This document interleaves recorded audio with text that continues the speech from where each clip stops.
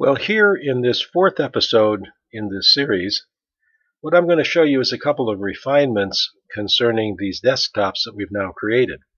One of the refinements is right here with this little message, which you notice is changing about every 10 seconds. What's actually happening here is that I'm rotating through different desktops, which all happen to be the same except for that message. So it makes it look like the same desktop is there and I'm just getting different messages to come up. I happen to have put three of them here, just messages that came to my mind. And you'll notice underneath I've arranged these icons that represent things that I might want to get into occasionally. The things that I get into most often are down here in this bar, including things like Word and Excel and the debut screen capture program, which is what's running right now. What I'm going to show you is how to make this happen. I happen to be using Windows 8. I'm going to go into the File Explorer. I'm going to look on my hard drive, and you'll notice here I have two folders. One is desktops, and one is desktops not active. Let's explore desktops not active first. I'm going to preview these. There's a bit of a delay here, and I'm not sure why when I access a folder in Windows 8, it seems to take a while to come up, but let's preview this. What you'll see here as I flip through these are various desktops that I've created in pretty much the same way that I've already shown you how to create desktops. This, by the way, was a piece of artwork from the early 1800s, and I just put it on a background with this sort of a, a coloring on each side to sort of emphasize this arc of yellow. And here are some shots taken from the web that just would seem to be nice desktops in their own right. These are not collages. These are individual images. And you can find images like this all over the web, National Geographic or the NASA site or various other places. Here's a piece of artwork that I used a photo editor to size in the right uh, proportions. And back to here. Now notice this folder is desktops not active. Let's take a look at desktops active. Here you see the three desktops that are rotating in sequence. Here's one with one message, here's another one with another message, and here's a third with yet another message. And you'll see as I rotate through these things, it really is the same main image as the collage that I've formed.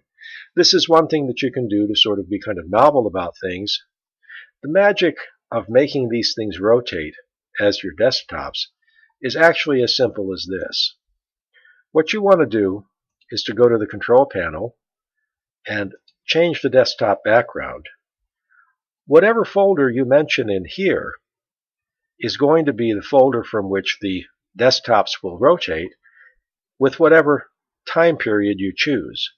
Now I've chosen the minimum 10 seconds because I like to see these things really move quickly. I could make them appear at random, or I can just have them go in sequence 10 seconds, 10 seconds, and 10 seconds, and then back to here for 10 seconds and on and on. Let's see what happens if I change this place from where the desktops are taken, and I instead choose desktops not active. Everything that's checkmarked here will appear as a desktop. If I save these changes and I go here, now you're going to see those desktops rotate. So 10 seconds for each one of these images in the folder that I've indicated, which is, in this case, desktops not active. However, I've named these folders in such a way and by the way, I created those folders. You could have any folder like this housed your desktops. But I purposely create these desktops at the screen size 1366 by 768 pixels for this laptop. And if I chose, I could just have these desktops rotate. But what I'm going to do is go back to here, change the desktop background, and I'm going to specify the folder that I actually have named my desktops, my active desktops. And when I do this, that's what I get, the collage that I formed. And since there are three, each with a different message here, you'll see that It just appears that the message changes. Just to wrap up this episode and this series of four videos, we formed this collage by using PowerPoint to assemble this image on a 16 by 9 screen. That is PowerPoint set to the proportion 16 units by 19 units, which is this modern laptop configuration. And then I put an area here that was just a solid background, or in this case, kind of a gradient fill. And I left this area blank in the desktop so I could assemble my icons there so that the icons didn't get cluttered over here over these images. And in this case, I'm just rotating three desktops that all appear the same. It's the identical desktop, but each has a different message, so it looks like these messages are going to rotate. If you were doing this as a gift for somebody, let's say a holiday greeting or Valentine's greeting or whatever, you might put different messages in here and pictures related to the person you're sending it to, perhaps pictures of them or pictures taken by them or with them. Or you might just put flowers here and a message that's appropriate to the holiday.